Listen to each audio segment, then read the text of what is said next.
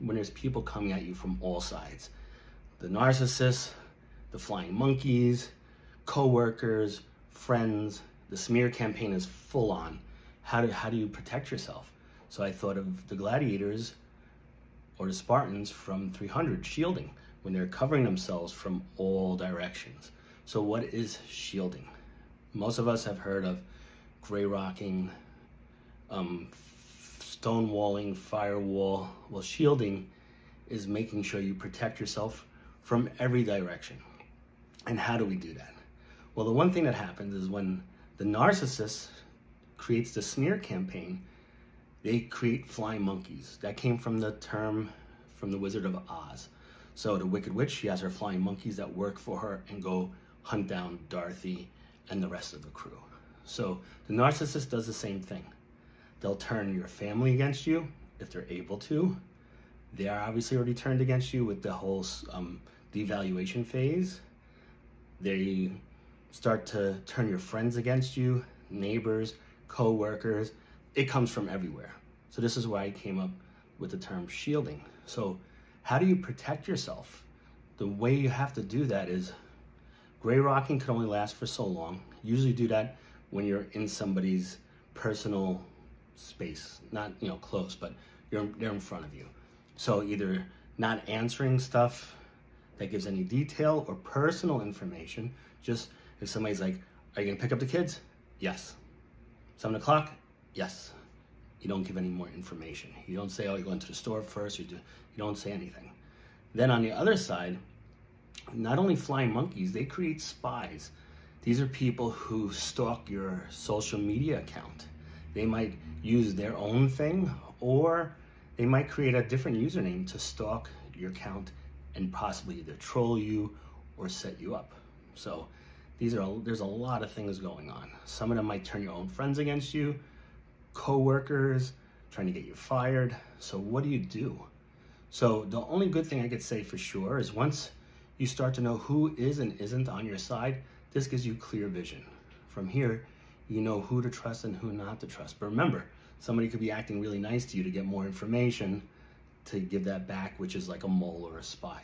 So you have to really be careful with who you share things with, especially if you're going through a divorce or anything like that, because the narcissist can and will use it against you in a court of law and way beyond. So what are things that we could do? If you know you have a bunch of your toxic person's friends on social media, say Facebook, you could either make sure they can only see a certain amount of your account because of restrictions. You could unfriend them and you could block them. I know sometimes this is hard to do because you don't want to create more waves, but it doesn't matter. They're coming after you. You have to protect yourself.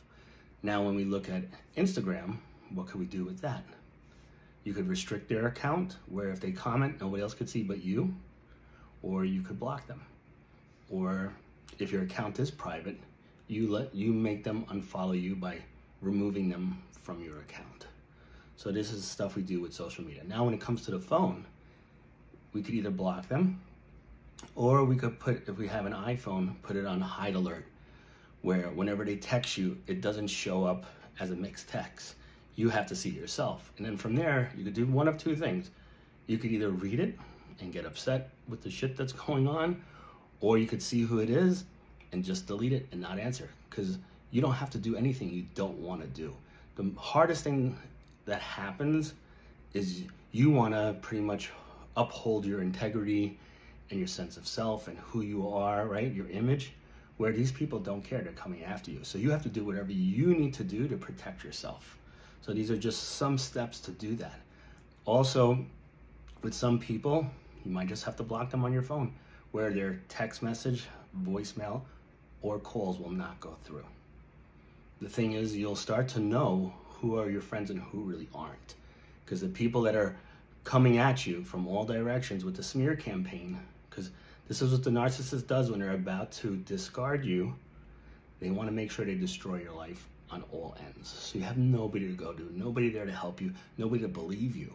And that's one thing also is that most people who are abused, especially if it's a man, unfortunately, and they go tell somebody like, oh, my girlfriend or my wife's abusing me, they're like, yeah, right, she's an angel, she's so sweet. Because you got to remember, they have different personalities amongst different people. So all those people that are on their side could have either been enablers, manipulated by them, or they just think that you must be the problem. So you really have to protect yourself on all ends. If you notice you're going somewhere, if you do go out to bars or something and those people are there and they're starting with you, you don't go there anymore. You, you know who are and who aren't your friends. The thing is, you have to find just maybe one or two people the most that you could really talk to that you trust within friends and family. A therapist is number one because that person is there for you and they've created a safe space for you to speak your mind. So these are important things to look at. So shielding is really protecting yourself from everything, whether it's your phone, calls, messages, texts, if you're on Facebook, Instagram, or any other social media platform. You have to do something to keep your sanity. Because um, this one, this is the one thing that they want to do is they want to take that away from you. They want to make you feel like you're the bad one. They're the victim. You're the abuser. You're the crazy one. And it will happen as long as you let all these people come at you from all directions. If you start to shield yourself and protect yourself, the impact will always be a lot less and the damage will be too. But here is where you have to do a lot of things you normally wouldn't do because this is not a normal situation. So you have to protect yourself and you have to do it at all costs because in the end, the only person that could care for you and take care of you in the end will always be yourself. You are your true soulmate. This is another thing with the twin flames and all that stuff. All that stuff is a dangerous concept. Once the narcissist changes and turns on you, you can't believe it, right? So now you're in a place of disarray. So now when you start to see the enablers starting to attack you from their side, the flying monkeys, the smear campaign, coworkers, friends, they'll go all out to just tarnish your image. You have to do what you can. So shielding is a combination of a lot of things. Also a gray rocking. Somebody you know that's trying to create triangulation with the narcissist is one of their friends. We're like, hey, Keith, how you doing? Good, what you do last night? This person never asked me that before. Why do they care? Oh, they're trying to see what I'm doing, trying to get information for the narcissist or the toxic person. So that the narcissist will just say, get somebody outside, whether it's a friend or family or just one of their friends, to start to triangulate things to try to bring up stuff. So when it's somebody that you don't really know or somebody that you really don't talk too much, and all of a sudden they're overly interested in what you do and how you feel, they're not doing because they care about you. They're trying to get intel so they can give it back to the toxic person so they can manipulate you. Be aware of all these things. With stuff, don't share it with just anybody. Don't share what's going on. Keep the private things your secret. You share that with your therapist, and if you're getting divorced, with your lawyer. You don't put it on social media. You don't make posts and videos smearing that person because you're to look like the bad one. So these are all little things you have to really look at to protect yourself. When you're speaking to your toxic person, just give them the information they need, whether it's, you know, picking up your kids, dropping them off, if it's paying a bill, don't give them any information. And anybody outside the relationship, don't give them anything either. It's none of their business. The thing that's got you into this mess was not upholding healthy boundaries. Now you're at a point where you really can't get that back, so you have to protect yourself by shielding. And this is even tougher, but now you have to stand up for yourself and be assertive. Because if you don't, they're going to come after you and take you down and hurt you as much as humanly possible and even beyond that. So you have to really look at these things and take it very seriously and take some of the stuff and some of the tips I just gave you, put that into action right away. Don't wait. You'll know who those people are right away, and some will be lingering in the back like the slower zombies, but they're coming because they always do. So take care of yourself, love yourself, make the best out of this situation, learn from it so you don't repeat it ever again.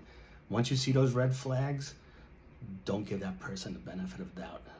After this is all over, you have to learn to love yourself again. And once you get to that point, don't let anybody ever take it away from you.